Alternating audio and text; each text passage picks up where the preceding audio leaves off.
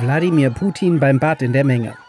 Diese Bilder des russischen Staatsfernsehens sollen einen Auftritt des Kreml-Chefs in Derbent am Kaspischen Meer zeigen. Die Aufnahmen sind äußerst ungewöhnlich, sogar einen Kuss auf die Stirn gibt es. Putin geht sonst nicht derart auf Tuchfühlung mit seinen Landsleuten. Bei politischen Treffen in Moskau hält der Präsident meist großen Abstand zu anderen Menschen. Die jüngsten Bilder sorgen für Aufsehen in sozialen Netzwerken.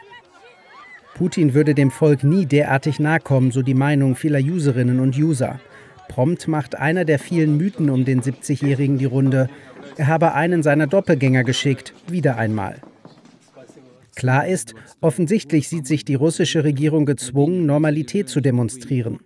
Seit dem abgebrochenen Aufstand der Wagner-Gruppe unter Jewgeni Prigozhin bemüht sich der Kreml zu signalisieren, die Sicherheit und Stabilität in Russland seien zu jeder Zeit gewährleistet.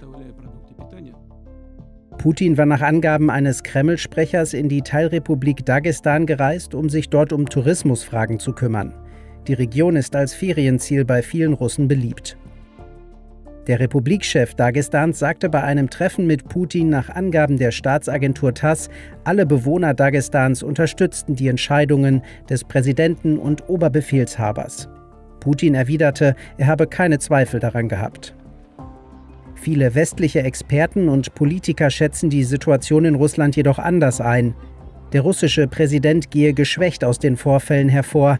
Die Ereignisse um den Prigozhin-Aufstand zeigten die Risse im System Putin.